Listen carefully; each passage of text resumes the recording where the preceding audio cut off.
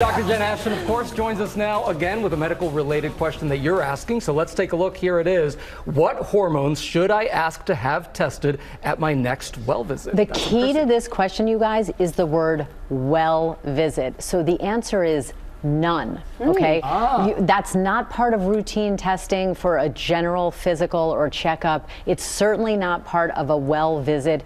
Uh, so people can get into a lot of trouble in terms of testing things that are unnecessary. And also, I have a saying in medicine you shouldn't do a test unless you know what you'll do with the results of that test.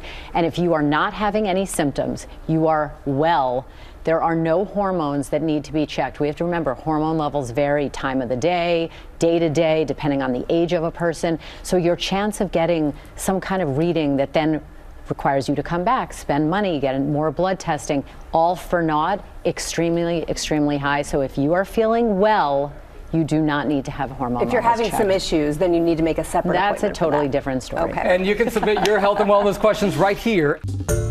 Hey there, GMA fans. Robin Roberts here. Thanks for checking out our YouTube channel. Lots of great stuff here. So go on, click the subscribe button right over right over here to get more of awesome videos and content from GMA every day, anytime. We thank you for watching, and we'll see you in the morning on GMA.